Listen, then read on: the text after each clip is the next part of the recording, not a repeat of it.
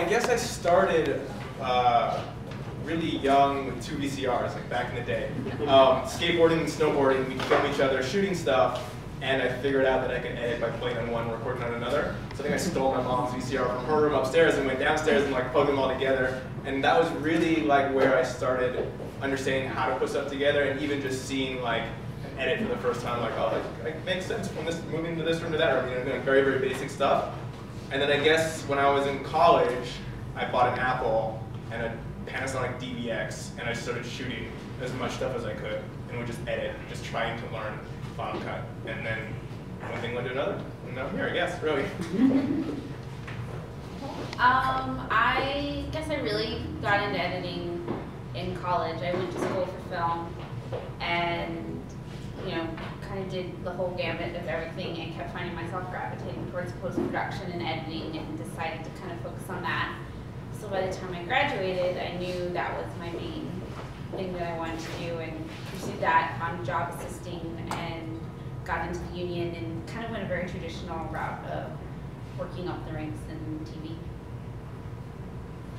Um, I think I first edited a uh, edited a project. I guess it was Die Hard. Um, there was a special DVD that came out that you could like recut part of the scene. I think on disc two. Like they gave you like three scenes and then you like choose different angles and stuff. And when you're a kid, you're like, what? Like that's crazy. So I, I now I'm thinking about it. Like that was like the first movie I ever cut. And uh, and yeah, I mean, everyone like I was like, you know, always wanted to do film and stuff growing up as a kid. But when DVDs came out and all, when people started putting out all these special features on like how the movie got made, then I really started getting into like, I guess, what it, what the director does, what the cinematographer does, and all this editing. Yeah, DVDs changed the way you think about. That's pretty the way I thought about stuff growing up. Like, oh like I started editing basically when I was a little kid playing around with like my parents' VHS cameras, like doing the editing the camera. And then Final Cut Pro in high school was like a revelation because you're like, oh my god, I actually edit something.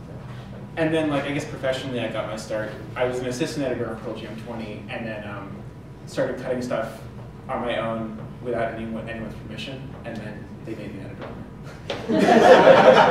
so that's good advice. Be really good. just do, do what you want to do. um, so let's get into kind of the process a little bit. Um, and this might be across the board, but this also might vary. Where do you come in to the process as an editor? Like, when, when are you usually brought on board, and how much like influence do you have during production, or is it all in post, or is what has that experience been for you? Um, I'll pass that one to you. I, don't normally, well, I mean, I don't normally, I don't necessarily just edit, you know what I mean? So I edit a lot of stuff that I direct, and in that regard, it's like I, I, the day one I decide to do something, it's like I'm also the editor, you know what I mean? Lately, it's been an interesting thing for me to hire other editors to like pass on that and to work with somebody collaboratively. That's been an interesting thing because normally, you know, I was a little worried about it, them not doing the way I wanted to do it in my head, but it's like I can still, it's been quite an interesting process and to be able to sort of like have the project grow into something a little bit different. You know, they have their own perspective, so it's been beneficial, I guess. Um, but coming into something for an editor, that, that yeah, I think it really varies on the project and what you're doing. I know for things that are smaller budget or shorts or independent stuff I've done, I'm usually on board before they start shooting that doesn't necessarily mean I spend all my time on set, but I'm, I usually help them figure out the workflow, what they're going to need, and get that all squared away. For TV, it's much more standard in that they usually don't bring the editor on until the day, uh, a couple days before they start shooting.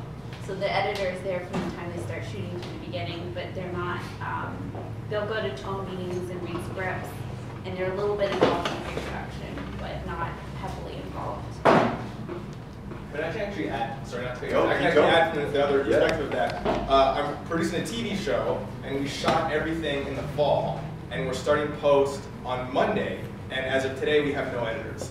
So in that regard, very, very, very last minute, right? So it's possible in this TV world, we're doing a reality show for A&E, and there's nobody on board. Uh, I'm trying to work on a documentary, and the very first person I met with was an editor. So we had dinner, I pitched him the idea, we talked about what it was, he gave me feedback. So it really, you know, that's like the very first meeting, or it's like we're starting in three days and Yeah, there's it- nobody on board. It can be anything, and I think also depends on the personal relationships. Yeah, I mean, the editor, Involved. yeah, the editor's a friend of mine, and I know he's very involved in the topic that we we want to cover, so it's like, it makes a lot of sense, you know what I mean? So it, it varies quite a bit. That's interesting. That you know, I don't know what, what it is about working with people that you trust, especially when you're handing it off to an editor. Like I feel like the like the, that relationship with the director already needs to already be there in, on some sort of level, or Yeah. you need to like win them over with a lunch or something, like, because. it- It's almost like you're, it, uh, it's a child, you know. When you hand someone your child, you don't want them to just drop the, the thing. You're like, cause then, cause you know what you have, and it's really special. And then you get an editor. Anyway, I'm rambling about babies and footage and that. that No, but it's true. it's so true. I feel like it when because I edit a lot of stuff that I direct and stuff, and when I do, and I because I, I really feel like I have like a trust issue. Like I, I almost don't feel like I trust like someone to put it together necessarily the way that I see it, and that's why like I started editing back in high school was like someone else would take it and be like, ah no, like, that's not how like the story needs to be told, and if they don't do that, then what are you watching it for? If there's no, if you're not telling the story, right? Yeah, yeah, yeah. So, anyway. I- fun- yeah. Yeah, it's true. Yeah. Well, it is because like this is kind of a tangent from question, but like editing is a lot of it's about trusting. Like editors are usually seen in like I I've met a lot of editors that are seasoned that are like Zen masters because when you're in post, it's like directors are usually so high strung and, and self conscious because it's their last chance to really make it good. And as an editor, like the best editors I think are people that are really calm and can are like like simultaneously like therapists and like artists because you have to like you have to like foster like the insecurities of everyone else that you're working with and then also know what to do Another thing you have to remember too is post is where everyone's confronted with their mistakes and the Exactly. things that they couldn't achieve or couldn't get, and they have to kind of reconcile that. So you know you have to be very gentle. yeah exactly yeah That's really funny because our last cinematography panel, John Salmon uh, was like, you do have, you are, the cinematographer is often therapist to the director during production. So, I'm sorry if we screw them up and then pass the it's really you're like parents create the Since baby it's your turn, you're taking it for this Yeah. weekend. Yeah. Sorry. Um, well, speaking of we have a lot of aspiring directors and that kind of stuff. One thing I'd like to, to ask is, um, what can directors do or learn to be a good collaborator in the edit room? And then what would you offer editors advice to, to be a good collaborator with a director? It, it's a very like passionate relationship, so it can vary per person, but like, Yeah, I think um, knowing the process from both sides is really important in terms of understanding when each person can bring to the table. You know, there's a lot of trust that goes into it, and having respect for each other's roles is really important. So I feel like from an editing perspective, if a director comes in that doesn't really understand how the post process works, and doesn't really understand what your role is, it can be very off-putting, and it makes it much harder to feel like you're having a collaborative relationship. And, uh, but vice versa, you don't, the editor should never act they're above the project either or superior to it. Gotta leave ego at the door. Yeah, I think for aspiring directors, if you're trying to direct, like the more you know about every single aspect of production, the better off you're gonna be. If you know about like makeup and hair, it's like you can see what you want and identify it, and you can save time and like just get everybody on the same page. I found, for me, like knowing about editing, like I was a much more proficient editor before I started directing, and on set, I was calling shots being done because I knew I wasn't gonna need something or I knew I was gonna need something. So it made the day go a lot faster, which was a lot, very, very helpful because it's like you never have enough time, and if I can cut shots out because I know I'm cutting it and I know I don't need that shot, then it really, really helps. And that just came from an understanding of knowing what I was using from being an editor. You know what I mean? So I think the more you know, the better. Because then it's like when you start working with somebody, you you can have that respectful relationship because that's important. Like working in the room, you're gonna be in that room, be it for three days or three months. Like you don't want to be at each other's throats. You know what I mean? Never fun like that. yeah. I guess my advice to directors would be to like Like I love it when directors know what they want in terms of what they're trying to say, um, and then I like trying to figure out how to say that with with the editing. Like, and so I think it's like the best collaborations I've had are when the director has a really big idea. It's like I want it to be about this thing, like whatever it is, it's a documentary or a feature or whatever. And the editor's role is like taking what they got and then shaping it into that thing, like as close as they can. You know, and then it's this conversation back and forth. I really like how you put that, like you figure out how to say it. Because I think there's a difference between knowing what you want and coming in with like a mental shot list. Yeah. Because it's not so much knowing I want this take here and that take here. It's knowing how you like the tone and the feeling and the character and the story, and coming in with an open mind and letting an editor kind of show you a way to tell that. Yeah, because editor, our job is like the mechanics of like shot per shot. Yeah. There's like the little little like cut for cut editing, and then there's like the what's the scene about, you know, and that's that's ideally the director's role, right? Not always, but Yeah. should be. Yeah, because I think if you come in like with this pre-imagined how it's gonna go and look, you're not really opening yourself up to all these other possibilities that are out there. That's what I, that's what I think right there is like what I would, to, to sort of address the question, it would be, yeah, to basically leave yourself open to any possibility when you're still in the editing room. I know the director, if the director has that vision, like that's awesome too. And then you come in and you say, like, well, we have this great thing here, and then you can find like really happy accidents that no one was expecting, but then that's how you open the scene or something. And uh, and being able to like not be so precious yet yet specific. It's it's a weird dance that you have to do with the director and as an editor and all this stuff. And I remember on season three, uh, in the script, I, I was like, oh gosh, I don't even know how to start the scene. And in the script, it said like, oh well, uh, the scene opens with uh, Brian D dancing to doo wop, and so the scene is only like the scene description is like that big on the page. I was like, oh well, doo wop is specifically in this script, so I just carried it into the next scene thinking like, well, why else would he just have doo-wop for like two seconds? And then I just started cutting to this doo-wop song, and that sort of helped me like.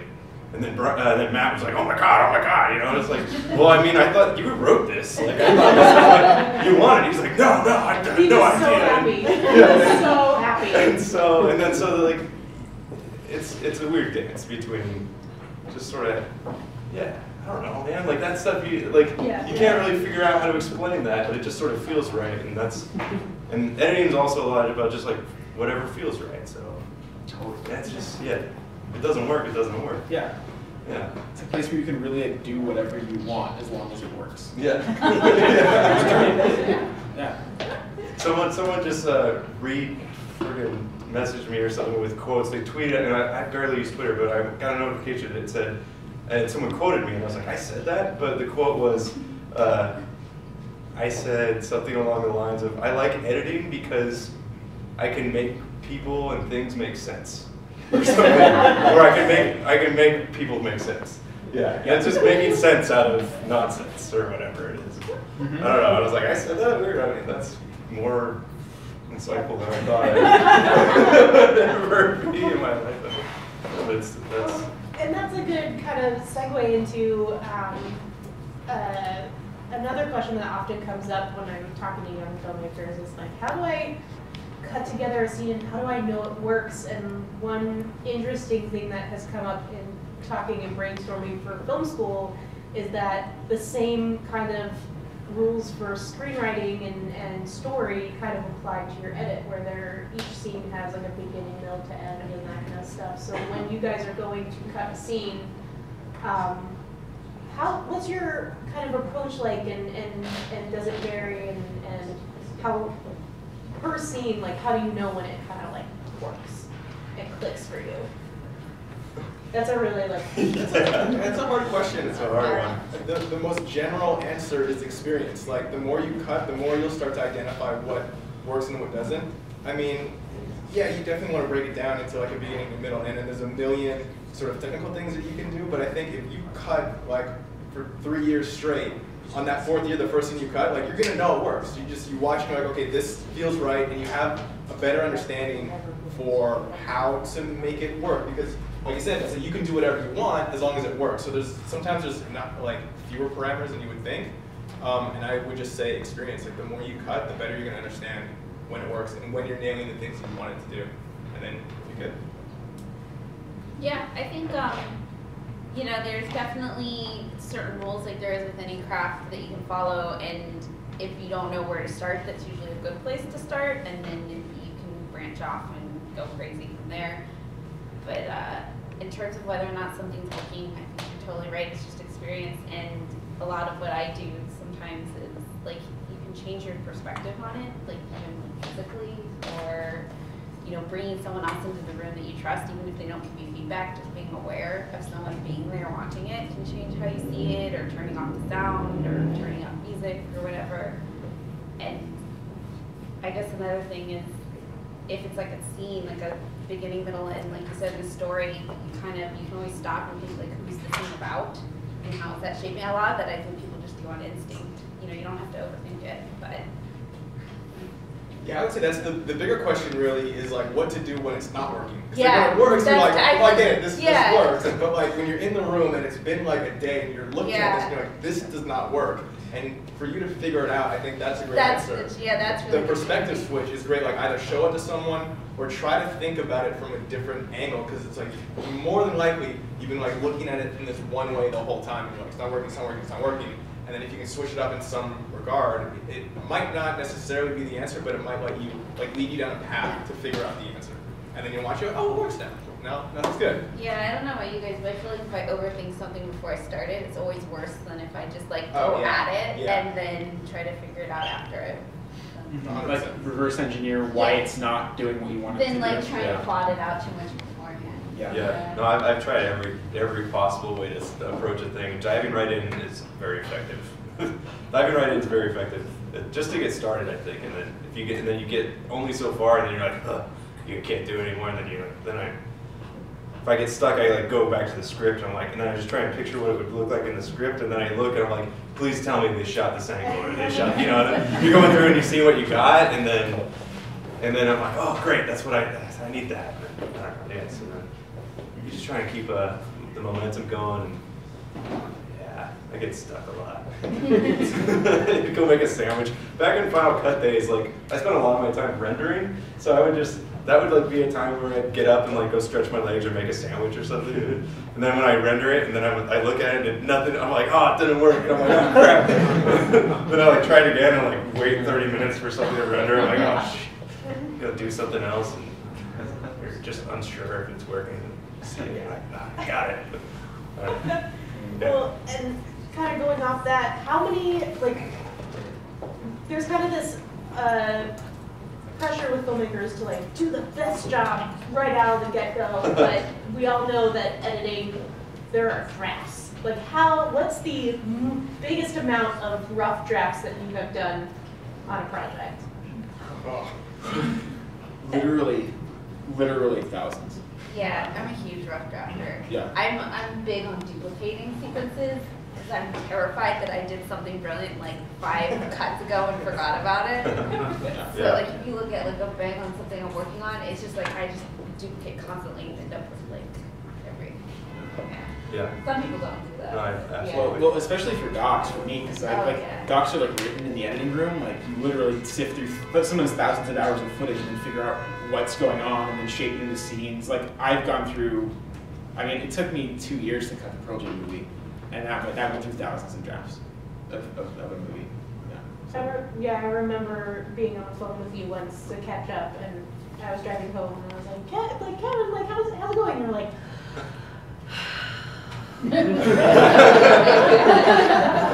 I was like, what is happening? And you were, yeah, you were on that for a couple years. Yeah, for a long time. It just boggles my mind that like your brain was able to hold that much. It wasn't. image. That's why we have computers to organize footage. Yeah. What was the question? Drafts. Oh, Drafts. yeah. That's my answer. Rough draft. Uh, well, I mean, with uh, what, what's interesting with uh, coming from Five Second Films is we would send out maybe three or four versions of the same film with different punchlines or different jokes, and, and those would be really interesting to dissect and be like, oh, well, I like the performance in this one, or or, or you understand the uh, the punchline better in that one. Uh, let me think of an example. Oh, one. Okay, well. One is just called police intimidation. It's with Brian Firenzi and trying to intimidate a suspect by flashing him a dildo. And he's like, why don't, you, why don't you try this one for size? And he says stuff like that over and over. Anyway, that's really inappropriate, but that was, but, but they did so many different takes, so you can get so many different jokes out of different punchlines, right? So, so we would just cut like a thousand versions of the same joke, but with different punchlines and things, and we'd all just sort of vote. We were very democratic in, in what we thought was funniest, and then that's the one that would go up, you know, so. Uh, very interesting. I haven't worked with anyone else that just would recut a five seconds so many times. yeah. Um, one thing too to be aware of is that when you're the director and the editor, it's like you can approve your cut like first draft, which is problematic because it's like I'll do something I'm like, oh, this is good, I like it, but it's like it doesn't go through the process of like you know revisions and reviews and which is really necessary. You know what I mean? And so you have to have like that diligence to be like send it to people or to like just take a break and to come back to it to like really have kind of have a critical eye because that dynamic is really important of having another person's perspective on when you're working with an editor. Um, and when you can approve your own cut, like rough cuts, it's like that doesn't really help you get a better product. It's like you just be lazy and you're like, oh, I'm done. but um, so yeah, so I would, you know, it's always good to just send them out and get other eyes and try to take people's advice on it. And this even happened. I, I did a little like cover video. I shot a friend's like they performed a song or whatever, and um, they couldn't release it. We still haven't released it yet. We shot it like three weeks ago. And normally I would just edit it real quick and be like, okay, it's three, two, one, I'm just gonna put it out there. But because we're on this delay and we're waiting for this thing, like I've constantly gone back and I've made revisions and made it better like every single time. And I would never do that, but giving yourself that time to go through it and to sit with it, it really helps make your project better. You know what I mean? Sometimes you don't have that luxury, but like when you do, like definitely take advantage of it and try not to be lazy. Because I've been lazy, just been like, yeah, that's good enough. I'll prove it. You know? so.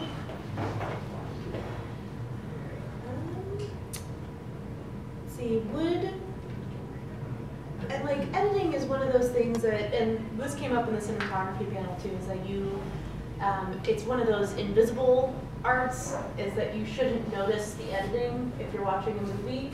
Um, but there are there are directors that work with the same cinematographer and the same editor just constantly, and and and one of the questions I got before was, how do you know like do editors have a certain style? Like, do you have a, is there some sort of signature to your own work? Is there, is that apparent to you? What would you say your style would be?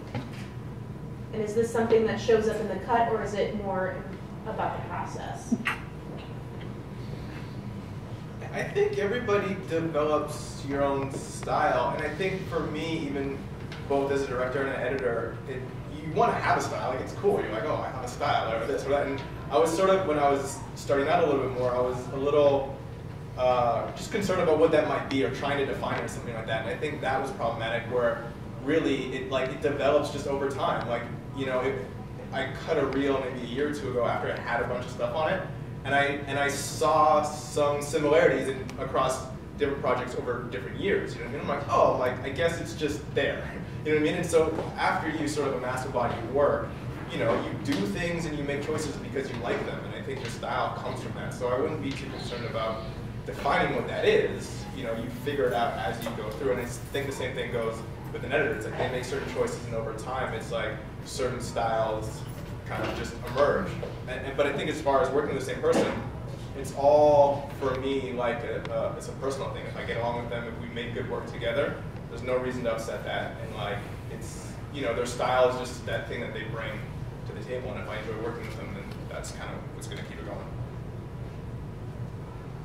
Yeah, I think um, everything is ultimately at the service of the story you're trying to tell. And so in terms of like a very visual, discernible style that usually can be very fluid and change, but I've definitely noticed that because everything's so personal and everything's such a matter of personal opinions, different people tend to gravitate towards different things. And working as an assistant for a lot of different editors, that I would cut for them and get notes from them. Like I know like one editor that I would work for, like he, I always cut scenes much tighter for him because he's always about pace, pace, pace and keeping things tight. And there's other editors that are much looser. So I think on the inside of the process, like you can notice like personal stylistic things. but it's not always so visible with the final product. I, I, it's it's hard. I mean, I it's weird to say that you have a style because yeah, I feel like that. Or it, no, it's totally understandable to have a style. But I, I just keep thinking of like what the story is, and really, if if it's it's oh man, I'm so blown away by just all the possibilities of editing that. I, I it's. Uh, I want to have a style, but I also don't want to like cut for the sake of cutting, which I've seen a lot of people do and and so I get more I get more critical. Like when I watch other people's stuff, I, I'm very critical and like why did they do that when there when there wasn't necessarily a reason to. I was like, well, I'm not learning anything new by just showing me this. Like, and You should anyway, I never get cut just to distracted. make cut. Yeah, so Yeah. I guess I'm basically I'm looking at it now as like a critical perspective. It's like when I'm when I'm say if I were a director like critiquing an edit, I'm very much looking at like what the motivation was to do certain choices and but that doesn't that doesn't address style. It's just a weird I don't know, it's a weird style blows my mind. Yeah. like it, I, Well, I it's can't like understand. eh, it's like painters have styles because they're making all these choices about what colors. to- Like you said, editor too, when you're choosing your shots. Yeah. I don't know. Like, It's all like subtle stuff. like Every person is a different person with different yeah. thoughts and. I mean, like, if I had to define my style as an editor, it would be just like I try to cut with intention as much as possible. And sometimes that means that it's like you can see the hand of the editor in my cuts. Like, like I know that in the Pearl Jam doc, like there's like a whole crazy section at the end. It's just like really fast cutting, and it's intentionally like you, you notice the cutting because it's like really fast. Right. Um, but it's all done with the intention of, of building up how many years these guys have played music together. So it, it has intention. And, and because of that, the editing, like, it draws attention to itself, but it's okay. You know? It has a purpose. Yeah. I'm not sure where the film like gets off the train or whatever when, when in terms of style. If it's like I don't know if it's the director's style specifically or the editor's style because like you know I'm thinking like Edgar Wright and stuff. All those like quick cuts that he has in his movies. Is that his style or his editor's style? And, or how do they like they, they sort of came up with that own like their own little montagey way of doing things. You know that's very unique to a film, but I don't know like who to attribute that to. Do I give that to Edgar Wright or do is it? It's the editor. The, the editor? then then bada bing. Then that is a cool style. Like, I like that style. I would I didn't know who to who to thank for And the editor has to be able to make it work too. Like even if someone like Edgar Wright is like, I want to be like this, like you still have to intuitively know how to make that work. Right. Yeah, I think uh, one of uh, one of the gaffers I worked with a while ago kind of summed it up best when he's like, the best collaborations are when you do something cool and everyone says, "Who did that?" No one knows exactly who came up with the idea or like how it came together, but everyone together made something pretty awesome. I think that's a, I thought that was a cool summary. That's nice. Um, do you guys have a favorite editor and or movie? No. No. it changes. It's whatever. you have editors? Would you have um, movie or editor recommendations to like if people want to watch some good films by like a like a pretty well known editor? Like, would you have any recommendations? On the flip side, I think it's really interesting to take something that you totally love and like zero in on the editing choices because it's speaking to you for a reason, you know, and you think about what they're doing that's making you love it. One, one thing I've done too is I've watched movies on mute Yeah. and just pay attention to the edit and try to understand. Um, it just, you know, you get you get so caught in the story, you just like in five seconds you forget that you're watching a movie, you get immersed. I think it's really good to just watch something very critically, um, and it, it does help to know the movie too. Like if you know the movie and then you watch it on silent, you sort of know what's going on in the storyline, and you start understanding where they're making cuts, how long they're holding on shots, and what they're doing on a technical level. And that has been pretty insightful on stuff. You know what I mean? So that's a good little trick to do. I second that, definitely. Watch movies on mute and like learn how to tell the story visually, you know. And as an editor, like that's very, it's a very good thing to be aware of. Um, visual storytelling, uh, and that's your your job. Yeah, do it, do it well. And even if it's not like flashy editing, just watching performances on mute and how they're choosing to have people interact with each other. Yeah, very yeah, fun. yeah. Um, Memento. is an interesting concept. You know, I'm sure you guys have all seen it. That I mean, I hadn't seen a film that was sort of structured quite so unique and. Gosh, I wonder. Like, I, I know you could watch the film linearly, like all in one go, but the it's. I don't know. There's something about having your brain pick up where a scene left off or something that you're just doing. Like, it's on a whole subconscious level now. That's really weird exercise, but yeah, watch it again maybe. Compare the two, watch it all the way through like chronologically, and then watch it cut up. Or, I don't know. Yeah, and talking about performances too, it's like sometimes, you know, it's like not cutting just to cut. It's like Birdman and Gravity, you know what I mean? It's like Birdman didn't cut, I mean, it did technically, but it's like, you know, that whole, it's a whole, it's just one shot, right? And it's like, it just goes to, and that just goes to show you that, you know, you can be entertained and enthralled in the story without cutting. Like, you don't need to cut, and sometimes the best decision about cutting is to not cut, you know what I mean? So on both sides of the spectrum, and even, I remember the first time watching Gravity where the opening scene's like 15 minutes long, like, probably 12 minutes in, I'm like, they haven't cut yet. You know I mean? but you know, I, I didn't, I didn't realize it at all. You're so immersed in that story and the performances, and they're doing all this crazy stuff. You know, it's just, it's what I find interesting about editing is that it's like, you know, 2014, 2015, and it's like there's still new editing techniques coming out. Like this is, it's an old art, but it's like, you know, just this year, it's like they're progressing and they're telling stories in new ways, and that is exciting and, and fascinating to me. You know what I mean? It's like it's still evolving, which is cool. Um, speaking of new technology, new techniques, and that kind of stuff, and I know this is one of the questions we're going to get asked, but um,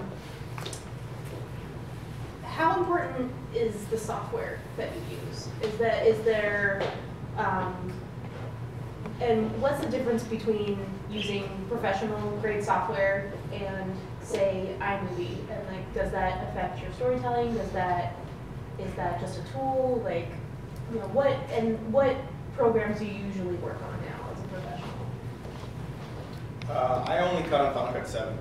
I, I never made the jump to Premiere or Avid. Um, I, at, at this point, I'm so fast on 7, it's just like, I've tried to learn. I mean, it's like, I know the basics of like Premiere and like the basics of Avid, but to try to do something in there, it's like, it just take me forever. So it's like, I'll just convert the footage and I'll cut it Final Cut 7. I, I personally don't think it matters at all, even using iMovie. It's like, you know, if you can tell a story, it's like an iMovie project and in its most basic level is like the same thing as a Final Cut project. It's like cuts and dissolves. You know what I mean? Like we're not doing anything fancy that is gonna blow you away in Final Cut 7 that you can't do. anymore. So it's like to me, it doesn't matter. And just like you know, the same argument for cameras. Cameras don't matter in my opinion at all. You know what I mean? Um, it's about what you're doing with them and how you're telling the story. And I think the same applies for editing. I think the use absolutely doesn't matter the story you're telling. Um, on a, and when you, if you do have the luxury of picking what you're using, you can always look at the specifics of the project, and there's a lot of practical things workflow that come into play. If you know one, I think you can do any of them. Um, one thing to keep in mind is if you are, if you have a target in mind of specifically like what you want to be doing, you can think about what is practically the most applicable program. For example, Avid is kind of a like mainstream industry standard, and if you're trying to get into that mainstream market, it's a good skill set to have. That's not to say that Avid makes better projects. You know, it really doesn't matter if you're talking creatively. If you're talking kind of like career goal set in mind, you know, you can always. And, but at the end of the day, just learn whatever you can learn, and then because five years is something brand new. it's totally different. Yeah. So yeah. Yeah, I mean, I think it doesn't matter what you cut on. Like, really, I'm annoyed with all the programs right now. It's, it's whatever one you're on, you miss the one you were on before. Well, like all, you, all an editing system needs to do a non, like a non-linear editing system, like FileMaker could be the best non-linear editing systems. All you need is an archive, a timeline, and a bunch of tools. Like I, we should build our own open source non-linear editing system, not be slaves to corporations. But, uh, yeah, Adobe. because they make decisions for us. It's not fair. No, and I Artists. wonder how expensive some things Yeah. are, and like now they have a stupid renting thing, where they. With Premiere, I With- know. And Avid, you Oh, yeah. have to rent now too. Oh, oh I don't have it right now. It's the most annoying thing. Yeah, It's the most annoying I, thing. no, I have this whole elaborate system of downloading trial versions and then downloading them again and like, you know, all these elaborate ways to get around it. It's Yeah. ridiculous. Yeah, Yeah. yeah. Yeah. Just Kind of anything. Yeah. Definitely. Um, see, getting close to opening it up for Q and A here. Um, I think before we do that, um, I'd like to talk a little bit about, we have a really good, like, span of different types of editors here. We have documentaries and web and TV, music videos and commercials and narrative and, um, let's, I'd like to talk a little bit about, like, how much difference is there in between those, they're all different mediums of film. Um, let's, uh, I'd like to talk about documentaries a little bit. Okay. So Howard, I mean, I've mostly worked at docs, and right now I'm doing some TV work, um, reality TV, just like docs and steroids. it is. And with docs, it's like you, as an editor, you're like God. You have total control. Again, you're also dealing with real people that you're molding into characters. You know, so um, a lot of it is digging through. For me, it's digging through like all the footage first, figuring out what exists there, what truth there is that exists in the footage, and then shaping that into a story that people will connect to that makes sense. Um, and it's interesting because sometimes I find that I build, I build characters out of real people, and then I show those characters to real people in, in a room, and they get to see themselves as a character, but they always see themselves as real people anyway. So you can like that. That goes to show if you make a documentary about somebody and you don't worry about how you're portraying them, you will never change the way that someone sees themselves. Ever. Really? Ever. Ever. I made it like I worked on a doc about a band that totally fell apart and imploded. I mean, we made one of the characters the horrible, most horrible villain. He was the reason the band imploded. He loved the movie. he loved it. He didn't really, like even though he was. I mean, there's bites of Rami ruined the band. Like he's a terrible person. He's like, I love it. It's great. so yeah, don't be afraid of just telling the truth with documentaries. But yeah, the process is super long with docs because it's a lot of just revisions and revisions and revisions, and shaping the story so that people who watch it understand what's going on. How, how beholden do you feel to like the truth as you see it as opposed to what's listed in your? Um, I like to say that I lie to tell the truth, um, because editing is nothing but lie. Like you're literally taking a moment that doesn't that you're taking moments that didn't happen together and then putting them together. So it's a lie. But if you do it, if the intention is that you're doing it to reveal some sort of truth that happened, it's all okay. I promise. All okay. well, it is though, and that's how I that's how I have to rationalize it. And that sounds very exclusionary, but it's like honestly, like because if I get stuck in the oh this didn't happen here and this you know this isn't truthful, it's like no the truth. What is it? Werner Herzog. You guys know Werner Herzog? Anyone? Um, amazing German filmmaker. Um, he has this great quote that we, as as filmmakers we must not be annotators of truth, we must be organizers of truth. Meaning like it's not about telling what actually happened. It's about organizing the truth in, into something that means that has meaning. You know, that means something. to people. So that's my spiel. I was half expecting the Herzog impression Yeah. as you were. Oh, is that what Herzog- Ask when Freddie comes on VFX. Freddie would do it. Ask him to do his Werner Herzog. He thinks it's great. He so- must not be annotators of truth. Yeah, it's so poetic. What about web video, Joey? What's Well, to segue into that, I, I would say that the last scene that I had to edit for Video Game High School Season 3 was the reality show that opened the, the series. So the first scene was the last scene that I had to edit. And, um, and it's a completely different style. I ruined it. I fucking, my first draft of the America's Next Top President, my first cut of that was you know, 45 seconds shorter than it is in the show. Because I'm like, oh, well, as it happened in reality, as they did it, they had the lady going up, the nuclear launch codes, and the final rose goes to the, and then, you know, Joel McHale comes in and all this stuff. And so, but what Matt did, he's like, no, no, no. He's like, the nuclear launch codes, and then the poof, like cuts to the shot of the briefcase. And the final rose, boom, cuts to the shot of the rose. and basically stretched out everything, like everything that was a, that they said, they cut to it, and then they did so much drama. And I was like, what? Like my brain was like completely cutting like a, a, a show. Like a, it wasn't. It was a different show within the show mm. that I was not like prepared for. So I when I saw it, I was like, oh, okay, now I get it. But what a different style, like already off the bat. Like I ru- like I was way off the mark, and everything else was fine. But but we weren't cutting a reality show at the time. It was season three was season three. Um, but with um, in regards to web and 5SF, what I've heard a lot as an editor, which is why I'm really happy with my background now at 5SF and my experience there is you only have five seconds to, to tell a story. So every single frame counts. And, and a lot of notes that you'll hear from people is like, ooh, that could be tighter. Well, editing with 5SF, I naturally just suck the air out of everything. So like it's as tight as it can get. Like you, you cannot make this go faster. People are constantly like, you know, you, you overlay dialogue a little bit just to squeeze it all in. And um, yeah, it's just amazing coming from just jumping around between different sort of formats within the web because it's everything. It's so, you're, you're constantly, you know, doing, I, I've been using the Van Damme splits as like a metaphor for a lot of things now, ever since he did that thing with the trucks. But I feel like you're just doing the splits between all these different like parts of filmmaking, and you're just what is that Enya? What is that music that he's doing? And then you're just you're just calm about it. You're at peace, and you just you know you're doing the splits, and you're flying. You're flying. You're on those trucks, and you're flying through the internet, and that is what. Um, that- It's great for web editing. that's great for web editing. Is, is if you could find that that inner peace like Van Damme. And oh, and by the way, it's really funny actually. Is Van Damme is over our editing door, like to go into our editing suite. It's a it's a picture of Van Damme doing like a sweet kick.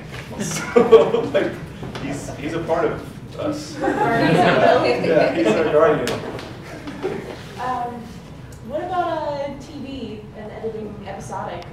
TV scripted episodic is actually very um, like there's a very rigid hierarchy and it's very structured. And a lot of that I think comes from the mechanics of getting these episodes out and meeting air dates and also all the unions are involved and so everyone has like the regulated amount of time to work on stuff.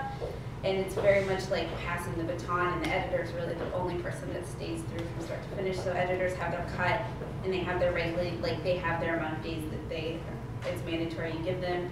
Then the director comes in and they work on their cut, and it's very common in TV for the director to be kind of transient unless they're involved in the show in other ways, like a writer or a producer. So the director's gone after his or her cut, and then the producers come in and they're really the keepers of the story more so, and the producers do their cut. And then you go to the studio and the network, and it depends on your relationship, how much say they have. Like the show I'm on now, I don't really listen to them, which is really nice because normally you have to do all their stupid notes.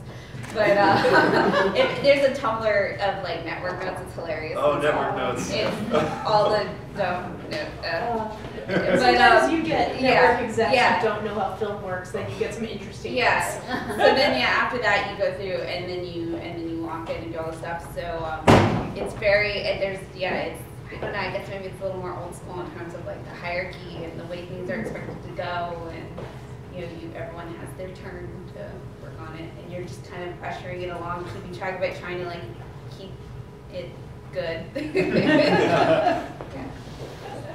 What about for you for, I know you were doing a reality show and done music commer- uh, Um, videos and director, editor. Yeah, the, the most interesting thing from an editing perspective is the stuff that I did for Katy Perry. So for her last tour, um, I wrote and directed this like six-part story that broke up her concert into these just different little acts to have her, you know, change costume or like different sets come in or whatever. Um, the thing that was interesting about it was that we had this little story going on, but we knew from the get we had three screens on the stage, right? So there's this one big main screen and these two peripheral screens.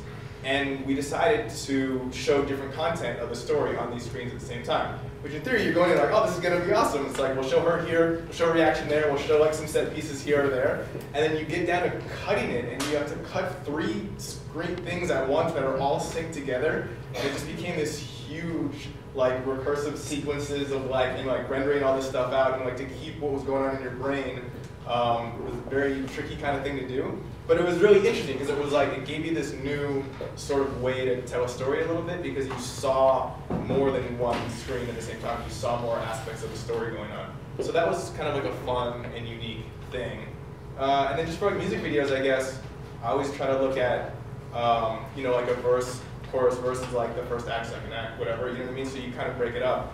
And um, I mean, music videos is like you can kind of do whatever you want. You don't have to stick. Like you can really do whatever you want in music video. You know what I mean? So I, it's been a great place to kind of like play and learn in.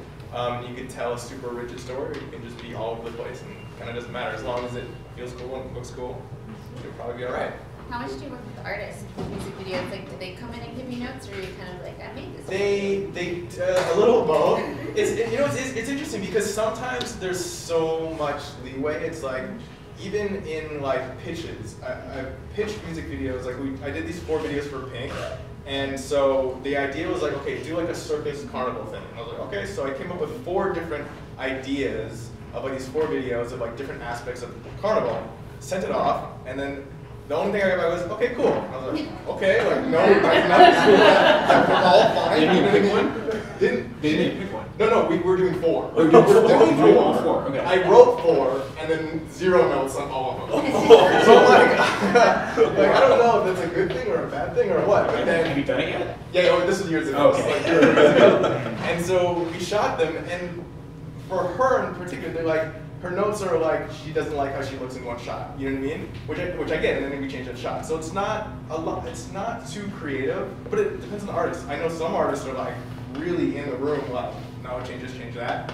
But I think like their concerns like anybody else. If like you watch yourself, like ah, I don't like that shot of him. You know what I mean? And that's kind of it. So it hasn't been too intense. Maybe I've been lucky. I don't know. Um, well, let's open up to some questions here. So, Gil, here you're gonna one up first. Uh, Um, have you guys ever worked with another editor in the Bay, in, in the editing bay? And how was that experience? Was it um, stifling? Was it, um, or did you kind of bounce off ideas off each other and help each other along the way? That whole uh, uh, aspect of it. Yeah, all the time. Like almost every. I rarely work alone docs because they take so long. Letters and like, I mean, it's just about building a relationship with somebody and figuring out what each person's strengths are, and then catering to those. Like, like I've worked with some editors that love doing big picture story stuff with docs because that's a lot of docs. Is like you know, is the scene necessary? And so that person would like spend the day figuring out, like watching all the, all the different scenes down and figuring out if they're right in the right order, and while I go and do the nitty gritty scene cutting, or vice versa. You know, um, with TV, it's always multiple editors, or most of the time. So, yeah. I love working with editors. Like I, I really enjoy collaborations. I mean, it's like on everything. Like I don't even like cooking by myself. um, I, uh, I just, yeah, I, you know, unless the other person is like crazy, which I'm thinking then you can work with crazy people. But it's just, I, yeah, it's really fun because it's just exciting. Like it's like you're both so excited about this thing, and you know, you're and you give each other feedback, and you create this even cooler thing than you could have done on your own. And it's like very comforting too, I think, because like you have someone on your team. You know, you're not by yourself, and like, and if you have a good enough relationship, you can show them things that are precious that you're afraid for other people to see yet, and like get their opinion on it, and yeah, I think it's great, you know, it's on, and it all goes back to the same things that, you know, we talked about working with directors, mutual respect and no ego and, you know, and if you need to work out ahead of time how you're gonna like divvy up the workflow, you can do that or you can wing it, kind of just depends on your personality. Um, no question. Sweet. Um, like, how do you know what aspect ratio to use in a film? Uh, I guess uh, if, if no one tells you, which often is the case, like we need this in four three or you know whatever. I, I mean, I don't know. That's a that's a kind of good question. I mean, usually someone would tell you, and then if you have the liberty to make the choice, whatever feels right. I guess I don't know. Is there any others? Yeah, we, we shot a whole feature in 4.3, uh, and, and it was a specific choice for the style of film that we were going for. We wanted that VHS look, like that, that full frame, the square, every, like everything I'd ever seen growing up was in that aspect ratio. Like So in video game high school, like I noticed like the the aspect ratio changed at times. Like Yeah, when yeah. Freddie and Matt wanted to shoot the whole action sequence at episode six and two, three, five, and a lot of our favorite movies, action movies specifically, are shot in that aspect ratio, and things just start looking more cinematic that way. Like once you start crushing it down from 16:9 to like a little bit tighter, then then you watch Face Off again, and you're like, oh, like geez, look at that boat flip over there, and you know that's like the editing room that I'm in is we're talking about The Rock you know, and stuff like that. And it all has that aspect ratio to it. So, you know, you just want to emulate the things that you like want to make within the, the style that you want to make it. And so if those are their favorite action movies, then then their aspect ratio for their action scene is going to look the same way, you know, or at least format wise. That's usually a decision made with the director and the DP. Yeah. And sometimes it, like, they didn't think of it and the, the, it's like an edit, in post, it's like, hey, can we crop this and then can you reframe everything so it fits in the crop? And then the editor's just like, I don't, like, what's wrong with you? it's like you're losing all the precious pixels. Uh, more questions. We have you for here? Hi, um, I'm a writer director. I mainly do that. I also edit, but um, one of my friends, he's a, he's a he's a good friend of mine, and he's a really talented editor, editor, uh, mainly in After Effects. And sometimes it's really hard to work with him. And I, I'm just because we recently did a project where it, it was um, an action sequence where it was supposed to be done all in one shot. So just operating now. So I, it was supposed to be all done in one shot, and he wasn't very specific um, on he because I was the director and he was the cameraman and he was I was he, I was trying to get him to do what I wanted to do and so how do I get that across to him without coming off like a total jerk? Well, I mean, it's like you can ask someone to do something without being a dick about it. You know what I mean? But it depends because it's like there's two things, right? Is there's the, the question of are you being clear enough to him, or is there some aspect of him being difficult that is resisting that communication? You know what I mean? And I think because that's the whole thing as far as directing. It's like for me, it's like I need to make sure I am clear to everybody. You know what I mean? Everybody knows like what is going on in my head because that's ultimately what's happening. Like I have this thing in my head, and I and I somehow need to like get all these people to be on that same page so we can all make this thing in my head. You know what I mean? And so it's really my job to communicate exactly what I want. And sometimes you know you meet people and you really connect with them, and you you know you're on the same page, and some people aren't. And it's just about for you wanting to direct. It's about you figuring out what you can do on your side. You can't make him listen, you know what I mean? You can't make him be less difficult, but you can think about how you can communicate or how you can deal with his personality in a way that gets it closer to what you want. You know what I mean? Um, and that's that's just all, that's all you can do, you know? Why not? Um, I saw your hand go up before. Yeah. Um, how would you recommend getting internships or um, starting positions for people who have recently graduated from film school? access the community you're interested in. You know, if you're interested in something very specific, find panels, meetup groups, uh, you know, mixers, podcasts, just like delve into the community of that. every area has its own community and meet people within it and talk to them. And also like show like it, like when you get your first job like as an assistant or whatever, show like real passion. Like editors love people that want to edit. Like like I got like when I was an assistant long like a, a little while ago, like years ago, like I met this great editor named Jason Rosenfield who saw in me that I loved editing because when I pulled selects for him, I cut them together like they were a scene. He's like, you don't have to do that. Like, I just want to equal select. But he saw that I loved it, and he like gave me the job after that. So that's important, you know. Prove up passion. Yeah, I mean, I would also, it's, it's kind of one of those things like, take as many jobs as you can right off the bat, because you never know what best friends you're gonna make. And that's like, that's one of my big things, it's just Yeah, like. don't be too good for something early Yeah. on. Yeah.